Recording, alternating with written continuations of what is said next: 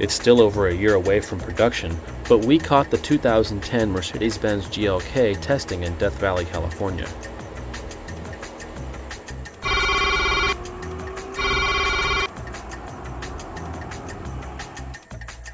It's a new compact SUV that will slot below the ML in the lineup, and like its competitors, the GL looks designed more for the street than the dirt.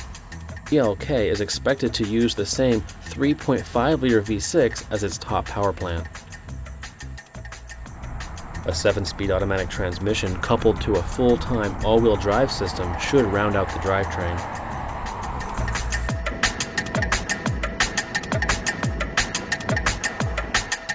Most of the styling cues mimic the full-size GL SUV. The GLK's actual size, however, should come in around the same as its main competitor, the BMW X3.